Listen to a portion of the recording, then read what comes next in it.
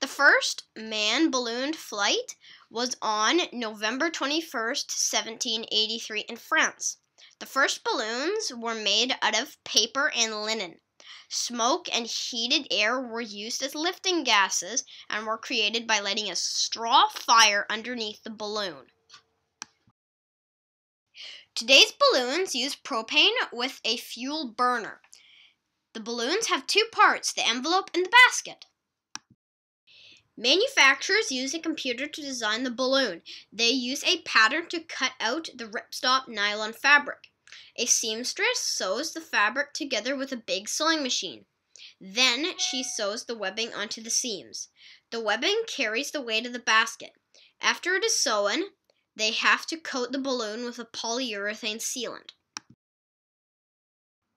The basket is made from a skeleton of aluminum tubes and woven wicker.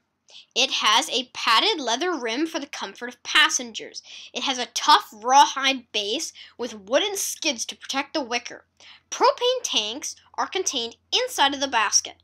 Tubes run from the propane tanks up to the burners. The basket and the envelope are connected with nylon and Kevlar ropes. The nylon and Kevlar ropes are mixed together. Kevlar, if put in sun, is very, very bad for the rope and will deteriorate very fast, but is stronger than steel, and if collided with a power line, will not cut like butter like steel aircraft cables will.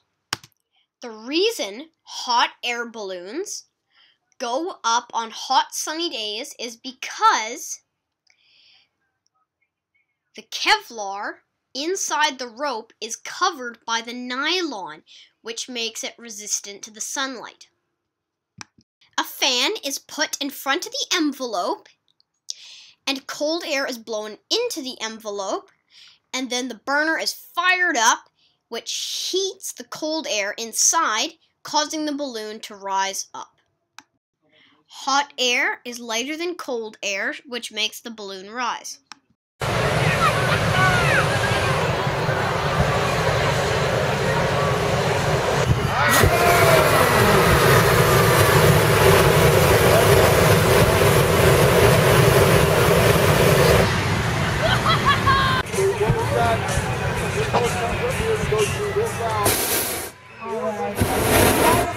Here we go.